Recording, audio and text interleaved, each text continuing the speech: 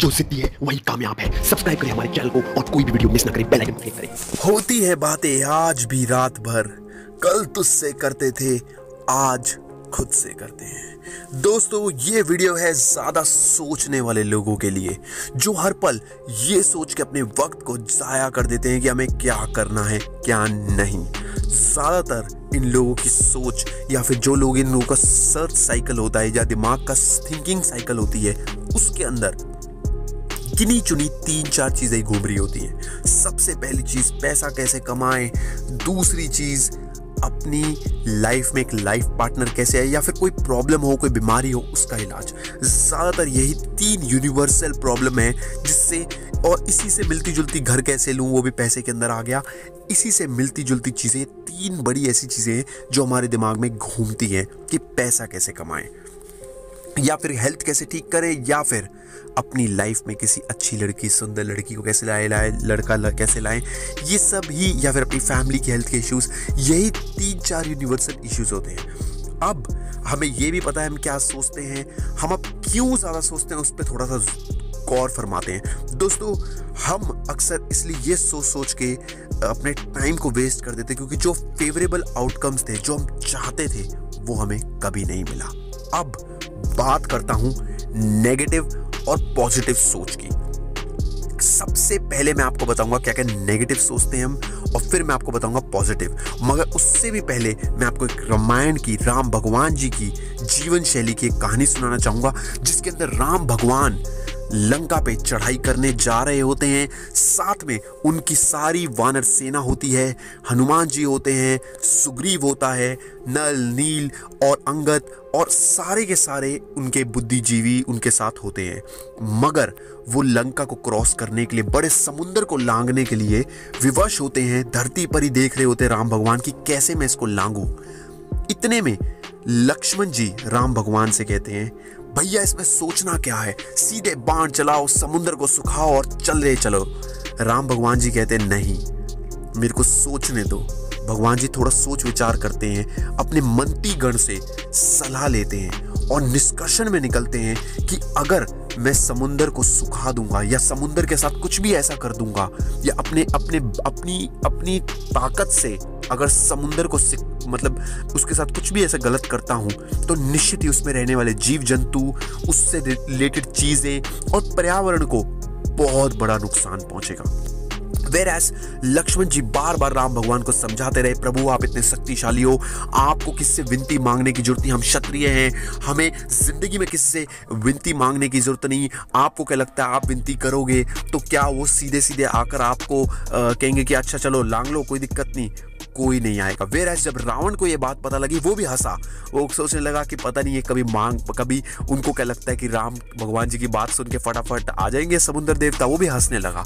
दोस्तों, मगर despite of being powerful इतने शक्तिशाली होने के बावजूद भी भगवान श्री राम जी ने सोचा, भगवान श्री राम जी ने सोचा कि मैं कोई ऐसा काम ना करूँ। यहाँ एक और चीज़ भी सीखने को मिलती है, भगवान श्री राम जी ने अपने अहंकार को अपने ऊपर हावी नहीं होने दिया। पहली बात तो भगवान श्री राम जी के अंदर अहंकार था ही नहीं, मगर उसको हावी तक भी अपने ऊपर नहीं होने दिया। भगवान श्री राम जी ने एक ही बात बोली मैं समुंदर को पूरा मौका दूँगा, उनसे विनती करूँगा, उनके आगे उनकी आराधना करूँगा, पूजा करूँगा, तप करूँगा, ताकि वो मान जाए, मुझे मार्गदर्शन दे, मुझे आगे बढ़ने का रास्ता दिखाएँ। फिर उसके बाद मैं सोचूँगा कि वो क्या करते हैं, क्या नहीं करते। और ये बात बोलकर लक्ष्मण जी ने फिर उनको बोला कि, प्रभु, आप सिर्फ़ समय को निकाल रहे हो, कोई आपकी मदद के लिए नहीं आएगा। भगवान श्री राम जी अपने तप करने लगे। दो से तीन दिन बीते और कुछ भी नहीं हुआ।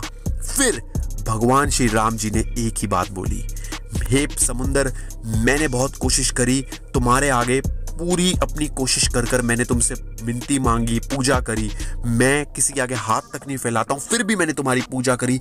यहाँ हमें एक ही चीज़ सीखने को मिलती है, इतने शक्तिशाली इंसान ने भी, जब भगवान ने भी जब विनती करी, सोच समझ के डिसीज़न को लिया तो आप भी ले सकते हैं। दोस्तों, ज़िंदगी में जो डिसीज़न बहुत ज़्यादा खुशी में या बहुत ज़्यादा दुख में लिए होते हैं, वो अक्सर नुकसान ही करते हैं। अब बात करता हूँ मैं कौन कौन से ऐसे नेगेटिव थॉट्स हैं जो हमारे दिमाग के अंदर आते हैं, जो हमें विवश कर देते हैं कि ये काम हम कैसे करें, क्यों करें?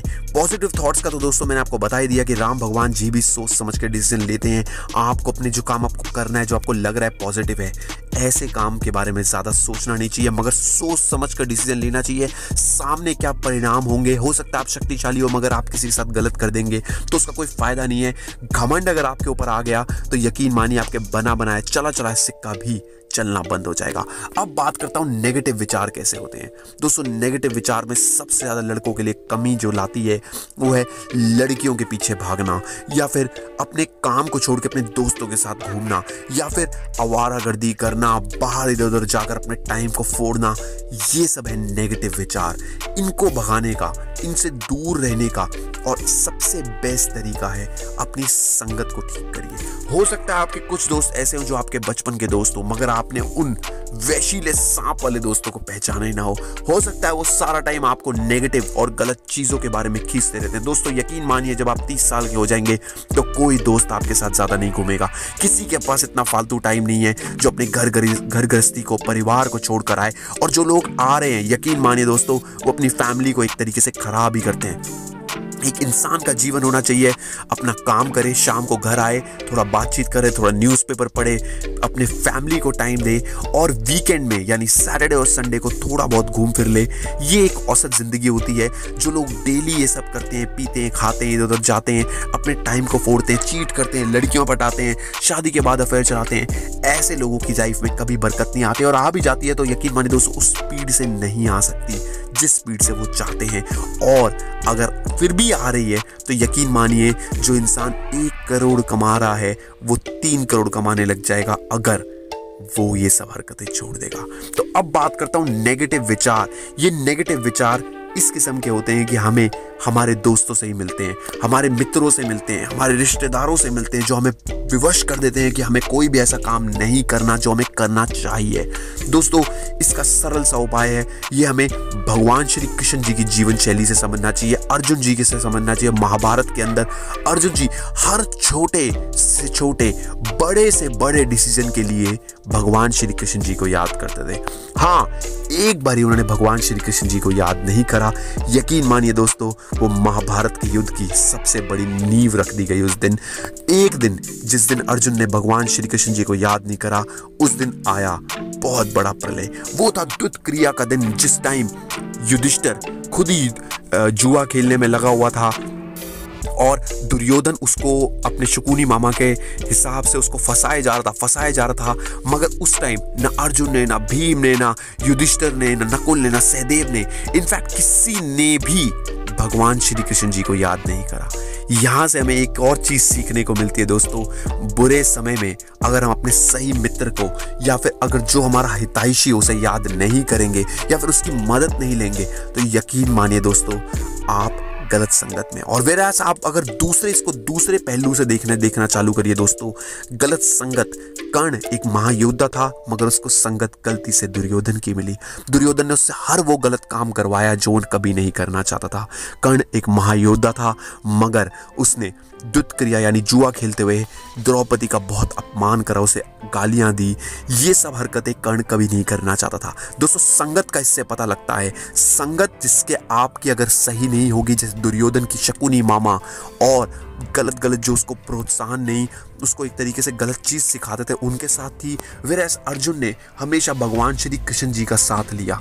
और यही भगवान श्री कृष्ण जी कहते हैं कि दुत क्रिया यानी जब जुआ तुम लोग खेल रहे थे तब तुमने मुझे याद बिल्कुल भी नहीं करा।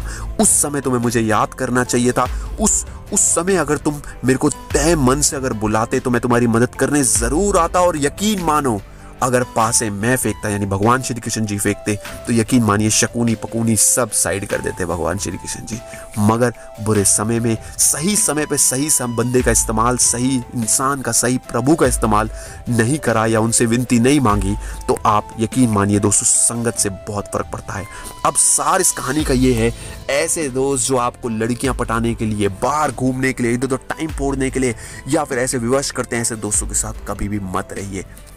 आपकी सोच बदलनी शुरू हो जाएगी। जिस दिन आप अपने ऐसे दोस्तों की संगत छोड़ देंगे, क्योंकि ये दोस्त ही हमें ये सब चीज़ें नेगेटिव चीज़ों के बारे में प्रोत्साहन देते हैं। दोस्तों आप ज़्यादा जो सोच रहे हैं, वो इन्हीं तीन कारणों की वजह से सोच रहे हैं। काम, पैसा और, क्या कहते हैं, शादी और कोई हेल्थ प्रॉब्लम्स और इसमें इन सब की एक ही बीमारी की जड़ है पैसा। और पैसा कमाने के लिए आपको हंड्रेड परसेंट अर्जुन की तरह मछली की आँख पे ही निशाना लगाना पड़ेगा। तभी ज़िंदगी में आप फोकस्ड रह सकते हो। बहुत से लोग अपने ज़्यादा सोच कर अपने टाइम को वेस्ट करते हैं। वो कभी भी ना करें, क्योंकि आपको ज़्यादा सोचने से मिलेगा तो कुछ नहीं, आपका चला ज़रूर जाएगा। क्योंकि दोस्तों वो कहते हैं ना, अगर आपने सही समय पे सही काम को नहीं करा तो बाद में उसको करने में वो कभी मज़ा नहीं आएगा। जब आप दाल पकाते हैं, सही समय में आपने उसमें पानी, मसाले नहीं डाले तो यकीन मानिए दोस्तों, दाल अच्छी नहीं पकेगी। और फिर उसके बाद आप कहेंगे, अब पश्चात होत गए चिड़िया चुप गई खेत। दोस्तों, ये वीडियो आपको पसंद है तो लाइक ज़रूर करिएगा। कमेंट बॉक्स में बताइएगा, कैसा लगा? जय हिंद, वंदे मातरम।